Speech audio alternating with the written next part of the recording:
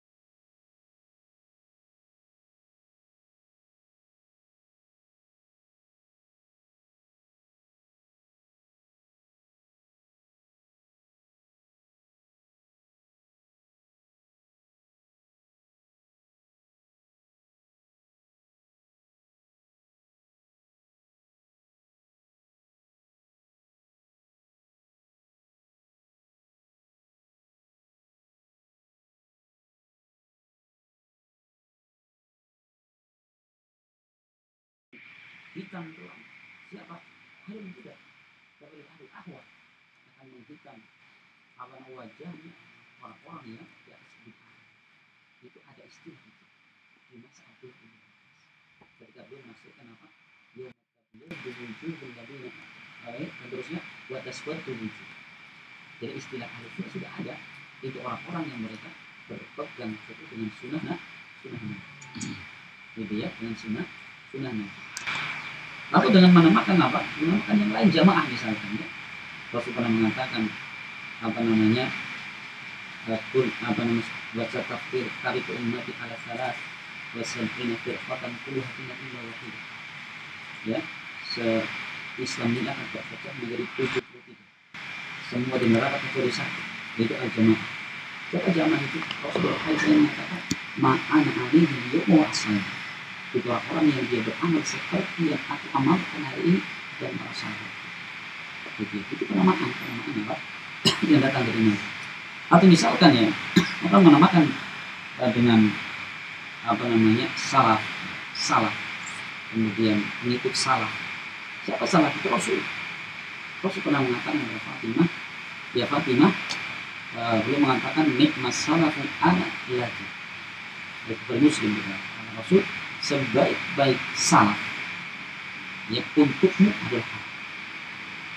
Jadi sebaik-baik pendahulu untukmu adalah aku katanya. Makanya orang yang mengatakan salaf pakai i misalkan dia itu pengikut salah. Pengikut rasul gitu. Bagaimana ya sana karena memang di situ penisbahan itu kenapa? Orang-orang yang mereka kembali kepada Al-Quran Sunnah Nabi Shallallahu Alaihi Wasallam. Berbeda dengan kelompok-kelompok yang lain. ya kelompok yang lain menamakan dengan Al-Mu'tazilah misalnya. Kenapa itu? Kenapa dikatakan sebagai kelompok Mu'tazilah karena di saat itu di masa ini ada sekelompok orang yang dipimpin oleh yaitu dia keluar menyendiri dari majelis yang Basri. Yang kita tahu saat itu Basri itu memang uh, apa namanya uh, orang yang paling terdepan ya, di dalam kebenaran saat jadi orang tahu kalau Hasan Basri itu lurus agamanya.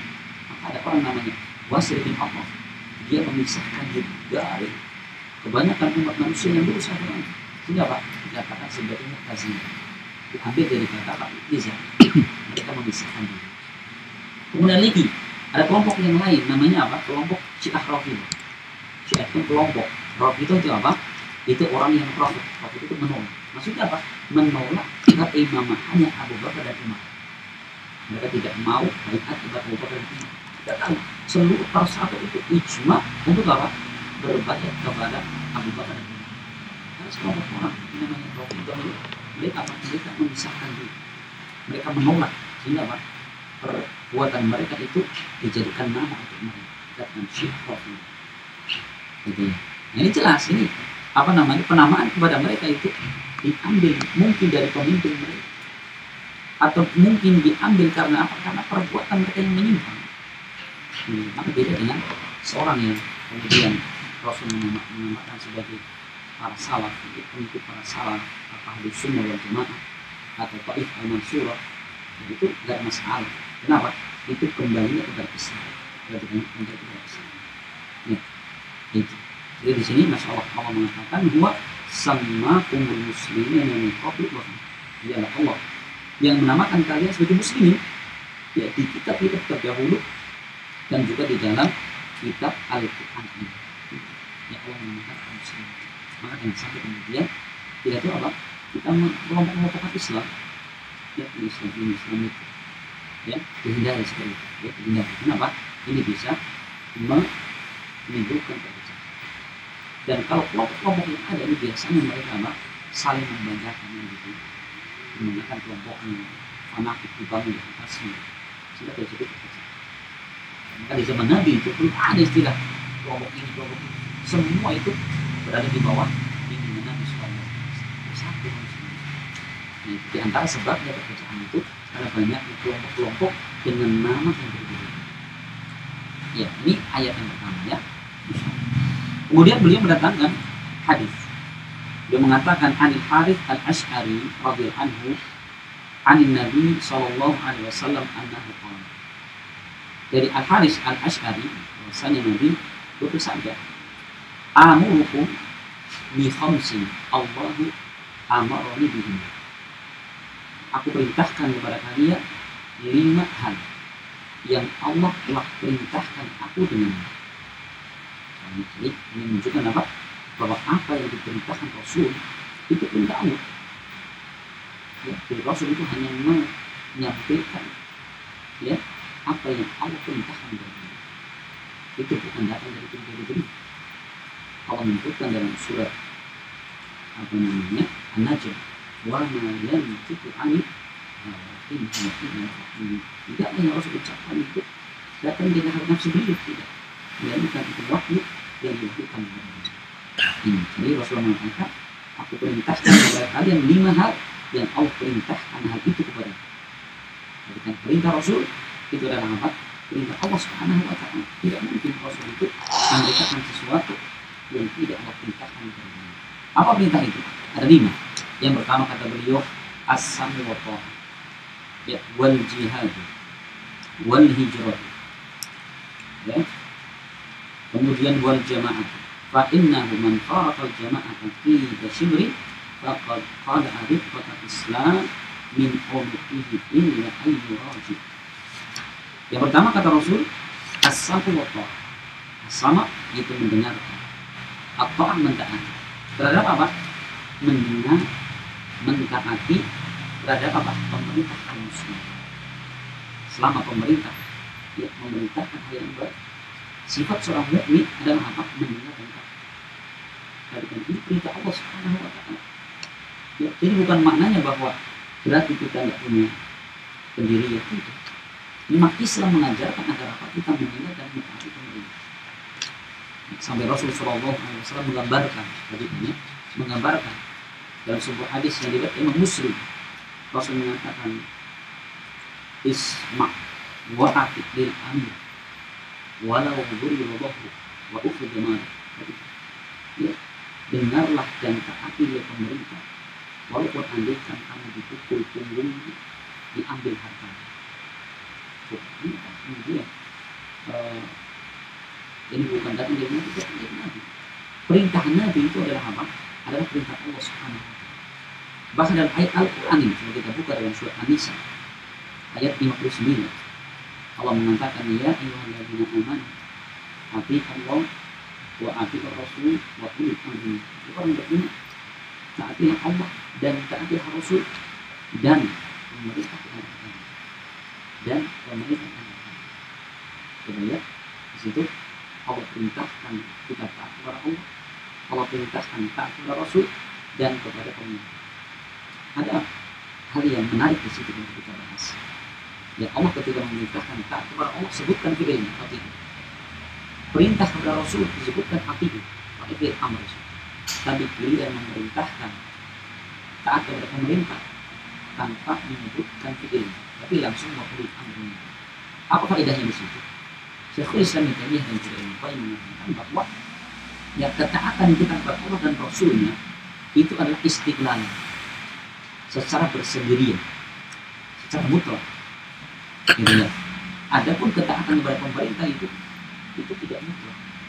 Maksudnya ketika pemerintah memerintah dan itu sesuai dengan apa yang Allah dan Rasulnya perintahkan kerjakan. Dan kalau tidak sesuai maka tidak boleh kita itu maksudnya. Kalau ya? Ya ini teman-teman sekalian ya jadi bahwa ini adalah pembeda antara ahlu sunnah dengan ahlu ahwa itu apa mendengar dan taat kepada pemerintah perhatikannya ini termasuk akidah ya perhatikan kalau kita membaca kitab-kitab akidah para ulama ahlu sunnah wal jamaah dari zaman dahulu ya, dari uh, apa namanya di zaman Imam Bukhari Allah di zaman Imam Ahmad bin Hanbal ya itu selalu menjelaskan tentang satu poin akidah ini. Ahlu sunnah itu apa? Mereka mendengar dan mentaati ini perhatikan jadi bukan bukan bikinan orang-orang sekarang tidak sama sekali. Kita mungkin zaman dulu pemerintahnya baik. Kata siapa? Ya kata siapa? Di zaman itu nggak semua pemerintah itu baik. Bahkan ada pemerintah yang sangat boring sangat ya siapa? Hajjat bin Yusuf oh kita kalau baca sejarahnya luar biasa. Bowling dan kejam hajat ini berapa banyak sahabat itu dibunuh di masa ini dan yang menjadi sasaran haji itu para ulama ulama sahabat atau ulama yang hidup di masa ini termasuk Hasan al Basri ya Anas bin Malik saat itu masih hidup. Berarti kan ketika beliau apa namanya mendengarkan kebemisan Hajat bin Yusuf. Maka orang-orang bertanya kepada Anas bin Malik sahabat Nabi kan itu mana Anas bin Malik ini pemerintah kita sangat berarti kan apa nasihat beliau? Isbiru hatta talqani fil haudi hakada hadathani rasul sabarlah kalian sampai engkau bertemu dengan aku yang telah katakan demikianlah Rasul bercerita kepada dan Malik muridnya Rasul kan itu? Bagaimana kata beliau? Beliau mengatakan bersabar. Ketika bertemu dengan pemerintah baru bersabar. Kan itu ya? Sampai kapan? Sampai bertemu dengan aku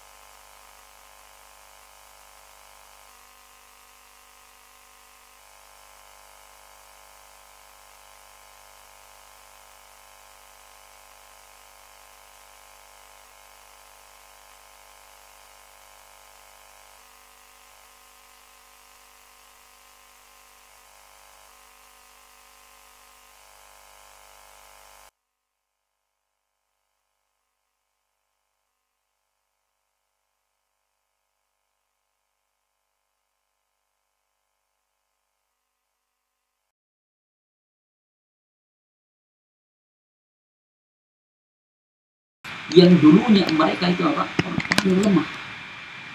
Masyarifal ardi wa magharibah belahan bumi timur dan belahan bumi barat. Yang kami berkata. Dan telah sempurna kalimat Rabbu yang maha, maha baik atas Bani Israel. Lagi jadi Allah itu memenangkan Bani Israel lagi.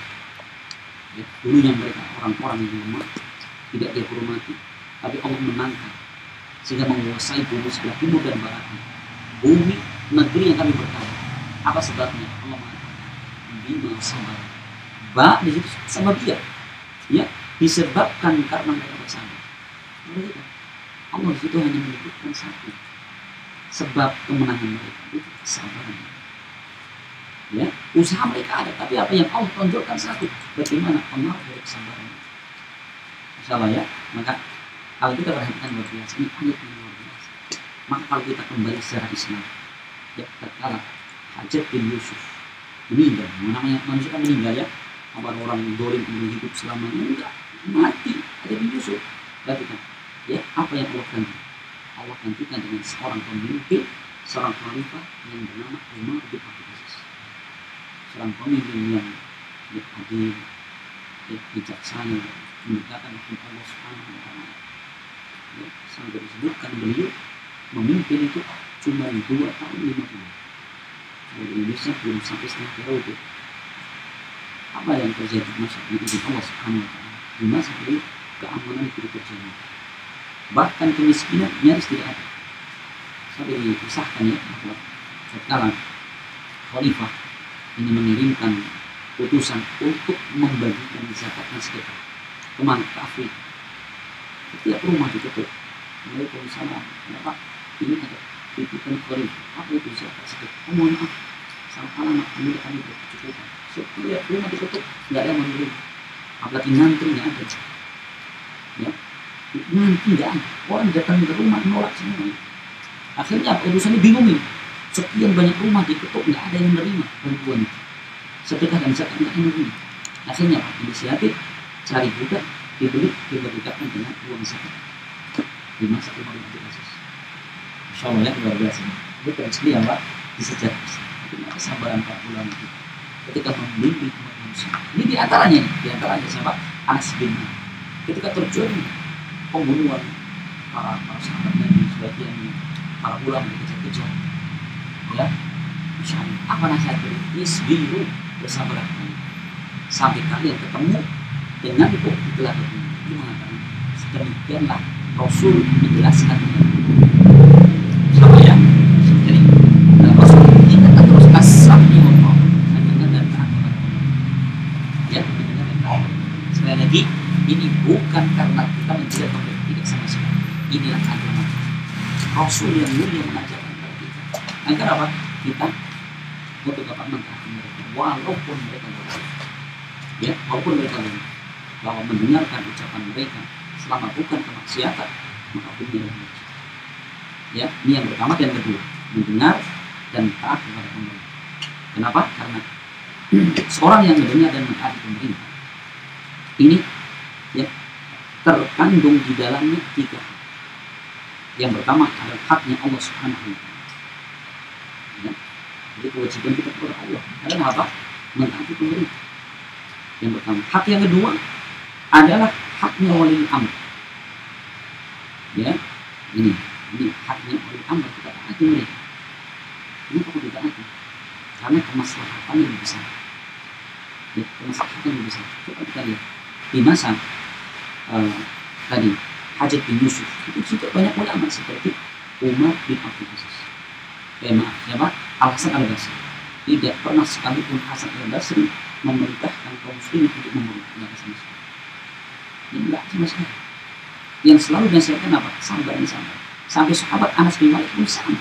Nasihatnya bersabar Insya Allah ya. Ini kalau sekarang uh, Anas bin Malik itu mungkin dicemooh. Itu sahabat Nabi menjadi penjaga pemerintah ini gitu ya itu terjadi di zaman dulu tabi tabi tabi tabi. Ada zaman tabi ini ya. Masya Allah luar biasa. Tapi awalnya bersantai ya bukan meskipun mendapatkan kemenangan dengan sifat kesabaran ya masya Allah ini hak yang kedua. Sedangkan hak ketiga hakul muslimin jami'an. ya yaitu hak seluruh kaum muslimin. Kenapa? Li'annahu man kharaja an sami wa ta'ah fa innahu la yu'li waliyal waliyal amri faqat. Innama yu'dil mu'mini muslimina jami'an. Karena orang yang keluar ketaatan dari pemerintah ini bukan sekedar ya menyakiti pemerintah tapi ini mengganggu seluruh kaum muslimin. Kenapa? karena kalau pemerintah sudah tidak ditaati yang terjadi kerusakan pemerintah ditaati kerusakan orang ini haknya diambil. Mungkin dirampok ya diperkosa misalnya. Ketika pemerintah tidak didengar. Hal yang terjadi. Ini haknya orang-orang tadi akan terselesaikan. Gitu kan? Nah, ketika ada pemerintah ya walaupun ala kadarnya kita masih punya kekuatan. Ya, kita masih punya keamanan di sini ini berarti kan ya, ini kalau kita pernah merasakan kan 98 itu berapa hari kita nggak ada presiden. Sendiri gitu kena saya taklim itu? Harus taklim dapat di rumah ih ini bagus sekali jadi sih di rumah mahal-mahal jadi mengatakan jadi zaman reformasi wah nyuri dari hutan. Coba penjara di mana-mana kan? Kalau sekarang nyuri satu saja langsung di bawa polisi kan? Aman kan? Itu sampai satu rumah. Satu rumah itu nyuri semua pemerintah. Kan gitu bukan hanya kayu yang di kota toko-toko orang diambil ambil enggak itu ketika tidak ada pemerintah yang di ada ditakuti itu perusahaan di mana? Berarti kan walaupun katakanlah pemerintah misalkan di suatu negara itu tidak maksimal kerjanya. Tapi tetap keamanan ada di sana. Dibandingkan dengan apa? Dibandingkan dengan pemerintah sama sekali ya hidupnya kayak hutan ya. Kayak binatang buas yang kuat yang menang yang lama dia Masya Allah, kan ini, ini bagaimana Rasul Shallallahu Alaihi beliau membawa syariat dari langit, bukan dari hal nafsu beliau. Ya, maka anda lihat ya, satu seorang Muslim yang terbunuh itu luar biasa.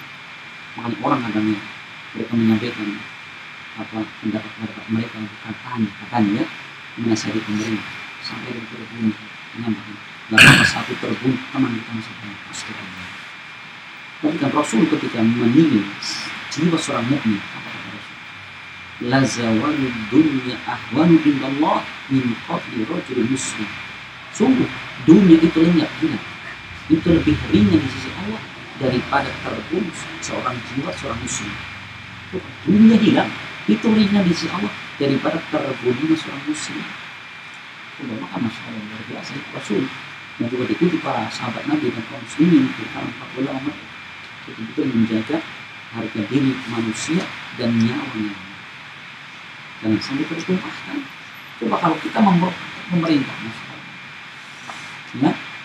Bukan satu dua yang terbunuh. Itu terjadi di masa Hajat bin Yusuf memerintah itu disebutkan. Beliau memerintah sekian puluh tahun ya yang terbunuh sekian puluh ribu. Ya begitu terjadi pemerintah hari pertama pemerintah sekitar 200 ribu. Terbunuh besar mana ini puluhan tahun yang terbunuh puluhan ribu banyak ratusan ribu.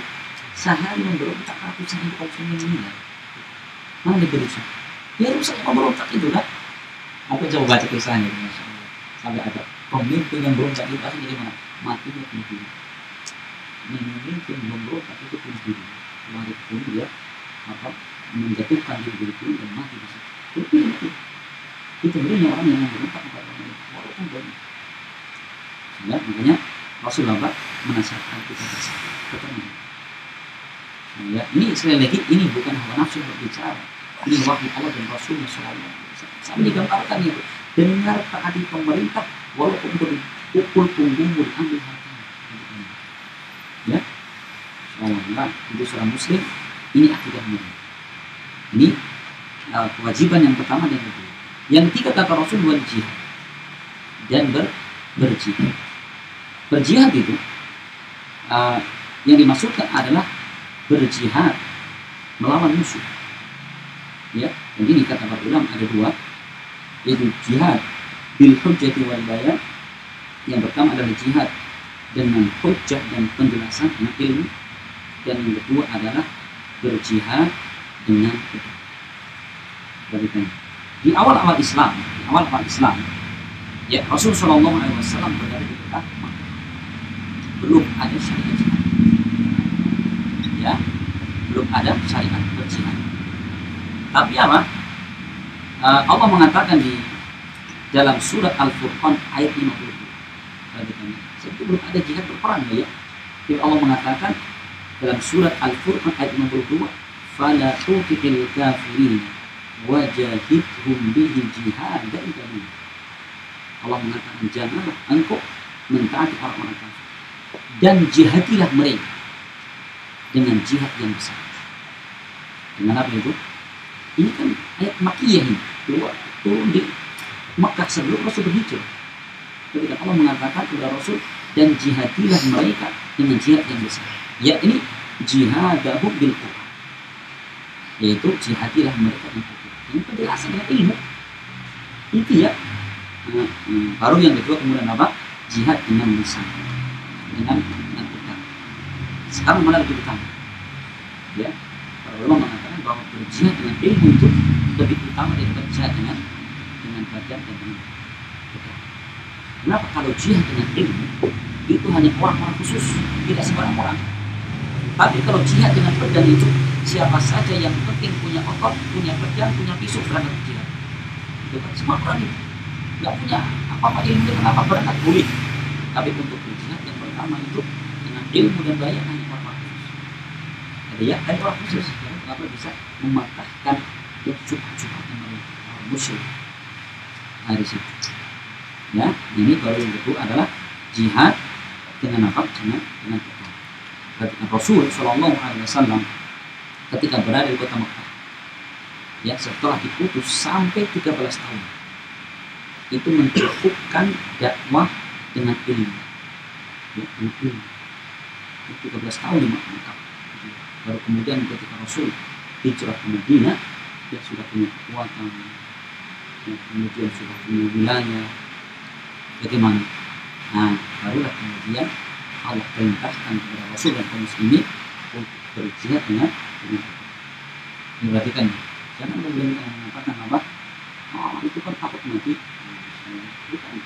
Kalau mati kan masuk surga gitu. Bukan gitu. Jadi dipertimbangkan dan ya dalam syariat itu dipertimbangkan. Ya, ketika itu belum belum ada kekuatan itu belum disyariatkan gitu ya. Ini lagi perhatikan. Dan yang namanya jihad itu perhatikan. Para ulama sepakat ulama harus sepakat. Kita kita kita mereka kita mengatakan al jihad itu ma'al ini yang namanya jihad itu terus selalu diwajibkan harus bersama dengan ini perhatikan ya maka ketika kaum muslimin di Madinah siapa yang memimpin jihad? Rasul. Yang memerintahkan Rasul ada tidaknya jihad itu yang mengomandi pemerintah. Nggak bisa kemudian kelompok pengajian mengomandi sendiri. Ya ke pemerintah jadi jihad itu harus apa imam. Rasul mengatakan al imam junnatu yujahidu khalfah ya, bahwa imam itu pemimpin itu adalah dia tameng dan kaum muslimin berjihad adalah pemimpin ya nah, jadi kalau ini jihadnya ujung jihad menyerang satu harus di bawah kepemimpinan. Yang kedua harus punya kekuatan. Dan yang ketiga harus sudah punya nilai ya maka Rasul ketika di Makkah itu belum belum ada jihad tapi ketika di Madinah baru ada jihad. Ini yang berapa? Yang ketiga. Yang ketiga wal hijrah. Yaitu berhijrah. Apa itu hijrah? Secara bahasa hijrah itu kata meninggal. Ya sedangkan secara istilah bahwa hijrah itu adalah al-intiqal min baladil kufri ila baladil islam. Firaran itu berpindah dari negeri kafir menuju negeri Islam karena lari menyelamatkan. Jadi itu hijrah. Maka hijrah itu ada yang pertama sifatnya khusus. Yang khusus ini maksudnya adalah hijrah dari Mekah ke Madinah. Itu sudah tidak ada lagi. Dan Rasul pernah mengatakan dalam hadis Bukhari Muslim, la hijrah dan hak walakin jihadun waliyah. Tidak ada hijrah setelah Fatu Mekah. Tetapi yang ada adalah jihad dan niat. Kenapa kok tidak ada jihadnya? Tidak ada hijrah lagi ke Mekah? Ya, karena setelah terjadi Fatul Mekah itu, maka sudah menjadi apa? Itu Islam. Ya, jadi nggak ada lagi orang niatan hijrah keluar dari Mekah. Nah, tapi kalau hijrahnya sifatnya umum, yaitu seorang yang meninggalkan negeri kafir menuju negeri Islam itu ada terus sampai hari kiamat. Rasul mengatakan la tanqatiul hijratu hatta tanqatiul tau hatta tanqatiul taubat. Ya, dan berhijrah itu tidak pernah terputus sampai terputusnya tobat. Kapan itu? Itu ketika mengakhir terbit dari sebelah sebelah gitu ya. Ini hijrah. So, hijrah hukumnya itu apa? Maka para ulama merinci ya ada hijrah yang hukumnya wajib seperti orang yang hidup di negeri kafir dan dia tidak bisa menampakkan keislaman wajib ya berarti cenderung agama itu bahaya. Ya dia tidak bisa menampakkan keislaman ya bagaimana? Wajib untuk itu yang kedua adalah hijrah yang sifatnya mustahab yaitu sunnah. Itu orang yang dia mampu hijrah ya, dan di tempat dia tinggal di kafir itu dia masih mampu menampakkan keislaman mampu bisa beramal gimana pak? Dia hidup di tengah orang muslim gitu ya? Adapun yang ketiga yaitu uh, orang yang atau misalkan dengan tujuan dia berdakwah misalkan. Dia tinggal di negeri kafir masih bisa mengamalkan Islam tapi memang tujuannya berdakwah misalkan gitu itu bagus juga sih walaupun kalau kemudian mereka hijrah bagus adapun yang berikutnya adalah apa? Orang-orang yang mereka boleh tidak hijrah itu orang-orang yang mereka tidak mampu melakukan hijrah seperti anak-anak kecil atau orang yang tidak tahu jalan misalnya maka mereka dikecualikan. Ini, ini yang berapa yang ke keempat itu hijrah. Kemudian yang kelima perintah Nabi itu wal jamaah itu berjamaah. Apa maksud berjamaah itu? Perhatikan ini. Apa berarti kita harus punya kelompok jamaah? Nah, maka kalau kita melihat kepada definisi para salafus saleh tentang makna jamaah, itu ada dua. Ada dua makna. Perhatikan ini harus kita berikan baik ini. Ini makna jamaah yang datang dari para salafus saleh. Makna yang pertama adalah jamaah hak. Jamaah benar. Maka Abdullah ibn Mas'ud ketika beliau mendefinisikan jamaah apa kata beliau? Al jamaah kullu ma wafaqa. Wa in kunta wahdak fahina idin jamaah jamaah itu setiap yang mencocoki kebenaran walaupun sendiri. Itu dikatakan sebagai jamaah. Ya mereka beragama sesuai dengan aturan hadis Nabi dengan pemahaman para sahabat Nabi di mana pun mereka berada walaupun di kampung sendiri walaupun di negeri sendiri sendirian. Bagaimana? Itu cuma itu maksudnya jamaah atau makna yang kedua makna jamaah adalah apa? Tahta amir itu seorang yang mereka ya berada ya di bawah kepemimpinan seorang muslim dan dia tak di situ. Memperhatikan ya. Memperhatikan sebagai pemerintah kaum muslimin. Bukan kelompok-kelompok tertentu berarti ya. Mereka itu kan misalkan gini kalau Imam Ahmad angkatan ini siapa itu imam? Dia mengatakan kalau kamu datang ke negeri di ujung sini nanti pemimpin kalian siapa? Misalkan Indonesia siapa? Orang Papua siapa pemimpinmu Jokowi. Tengah-tengah Jakarta siapa pemimpin Jokowi misalkan. Sampai di ujung mana lagi? Siapa pemimpin Jokowi itu menunjukkan apa? Bahwa Amir kalian adalah apa? Presiden kita misalnya. Itu kan seperti Ahmad. Imam kita. Ini sudah ada ucapan para para imam kita. Imam Ahmad bin Hanbal. Nah itu. Maka itu yang dimaksudkan jamaah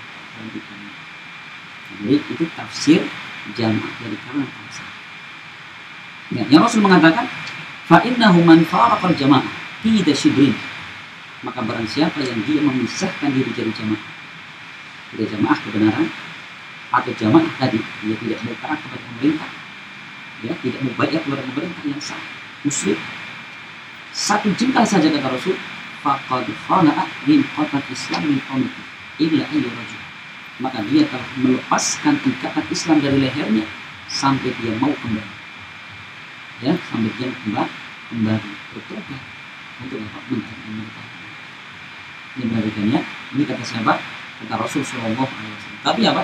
Harus penafsirannya benar.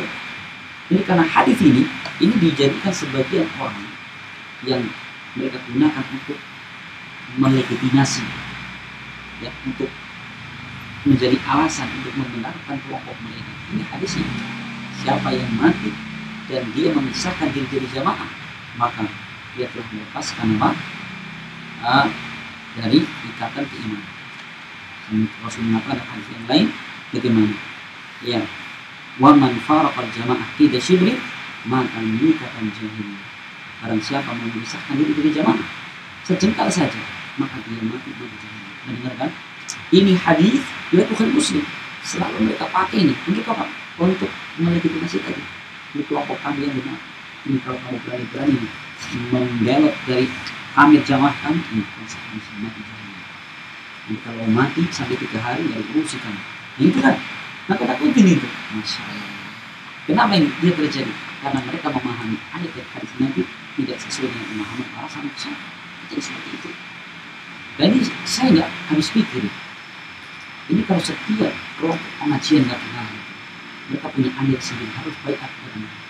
Siapa tidak baik sejengkal saja, ya tidak taat kepada pemimpinnya, kepada amirnya, atau jahilnya. Ya, bagaimana berarti di alam dunia ini semua orang jahiliyah kecuali kelompok dia yang jumlahnya 20 tokoh ya, nanti kelompok lagi bikin jamaah lagi selain jamaah ini ya ada muslim waduh mumpuk gitu ya. Perpecahan di mana-mana ini kenapa terjadi ketika mereka menafsirkan ayat dan hadis tidak seperti yang Allah dan Rasul dan juga para sahabat ini itu terjadi salah ya makanya luar biasa ini ini jawabannya sering kita mendengarkan ucapan ya baik atau baik itu baik Insya. Gimana ini kalau ada seorang yang dia terlanjur berbaikat? Ya, ketika masuk su, sunnah. Sudah ya, kita jelaskan ya. Pembahasan kita. Gimana ini? Ada seorang terlanjur berbaikat kepada suatu amir pengajian misalnya. Karena sadar ingin memperbaiki diri berbeda. Bagaimana? Termasuk dia harus membayar kafar. Gitu ya. Dia sudah bersumpah, tapi ternyata di kemudian hari dia mikir ini ada yang lebih baik ini keliru bagaimana dia bertobat kepada Allah batalkan sumpahnya bayar kafar gitu ya kemudian kata Nabi wa man da'a bidakwal jahiliyati fa innahu min jusa jahannam maka barang siapa yang menyeru dengan seruan jahiliyah maka dia termasuk bahan bakarnya jahat jadi orang yang mereka apa namanya da'a bidakwal jahiliyah mereka menyeru dengan seruan jahiliyah. Apa maknanya di situ? Perhatikan. Makna dia menyeru dengan seruan jahiliyah adalah seruan selain datang dari Islam. ya Nabi Syekhul Islam mengatakan beliau mengatakan kullu ma kharaja an dakwah Islam wal Quran min nasabin au baladin au jinsi au madhabin au tariqatin fahuwa min azail jahil setiap yang keluar dari penamaan Islam dan Al-Quran baik dari nasab ya atau negara atau madhab atau suatu tariqah maka ini semua adalah apa? Min azail jahil termasuk seruan-seruan jahil ini maksudnya seruan Islam. Ya Rasul mengatakan barang siapa yang dia menyeru dengan seruan-seruan jahiliyah maka dia termasuk apa? Termasuk uh, bahan bakar neraka. Ini ancaman berarti. Maka dia mengatakan ya Rasul ya wa in wa walaupun dia sholat dan puasa. Rasul mengatakan wa in wa ya walaupun dia sholat dan puasa fad'u bidah wallahi ladzi sammakum muslimina wal mu'minina ibadallah maka serulah dengan seruan Allah yang Allah telah menamakan kalian sebagai orang muslim dan mukminin wahai hamba-hamba Jadi, uh, ini hadis ini kesimpulannya adalah apa? Bahwa kita tidak boleh untuk menyeru ya dengan apa yang seruan sebenarnya. Maka nanti tulis kita di sini menyebutkan bahwa suatu ketika terjadi apa namanya eh, perselisihan ya di antara antara para sahabat Ansor dan Muhajir. Maka orang-orang Muhajirin mengatakan, ya dan Muhajirin, wahai Muhajirin sini sini kumpul kita kumpul bersatu. Nah, dan orang Ansor sama, ya dan Ansor, wahai orang-orang Ansor lain, sekarang kita bersatu. Muhajirin Ansor terjadi apa? Terjadi perselisihan di sini orang muhajirin manggil bala tentaranya asal juga sama. Oh ini orang banyak sari ada ihram mau tawuran di perbatasan misalnya. Apa kata Rasul? Abidak wal jahiliyah wa an wa ana baina apakah kalian menyeru dengan seruan jahiliyah? Sedangkan aku di tengah-tengah kalian. Wa ghadiba dzalika ghadban syadidan. Dan Rasul saya itu marah dengan kemarahan yang sangat keras Lihat perhatikan para sahabat membanggakan apa? Muhajir Ansor. Dan kita tahu muhajir itu ada pujian, Ansor juga pujian. Nama muhajir dan Ansor Allah tetapkan Al-Quran. Ya, wasabiqun al-awwalun minal muhajirin wal ansor. Kan itu orang-orang yang lebih awal dan terdahulu dalam keislaman dari kalangan muhajir dan. Kan itu penamaan yang apa? Memang datang dari Allah. Tapi apa? Ketika penamaan itu untuk membanggakan mereka untuk mengelompok-kelompokkan kaum muslimin. Rasul mana? Dimatikannya mana dan sambil ada orang ayo banyak sekali kita bersatu. Nah, banyak sekali bersatu tak bisa kita bahkan. Ya. Padahal juga sama misalnya. Ya berarti di zaman itu sudah terjadi. Ya, tidak boleh apa kita saling berpecah. Karena masalah Allah sekalian, ya ini eh, apa namanya satu bab yang menjelaskan kepada kita bagaimana agar seorang muslim itu mereka selalu menjaga persatuan umat ya sampai kemudian kita berbicara. Ya dengan apa? Dengan kita jangan menamakan dengan sesuatu yang keluar dari penamaan Quran Islam dan hadis Nabi Wasallam. Ya tanggalkan semua penamaan-penamaan ya dan itu bisa memicu perpecahan. Dan memang setiap kelompok seringnya itu dan hampir dipastikan mereka akan semakin membanggakan jadi mereka akan dianggap teman ketika satu organisasi katanya di luar mereka musuh dan sampai kemudian war dan warok kita itu dibangun di atas satu kelompok.